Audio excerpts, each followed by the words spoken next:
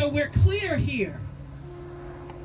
We clear that we stand here in love and we stand here understanding that our love for a man that we did not know last week brought us here.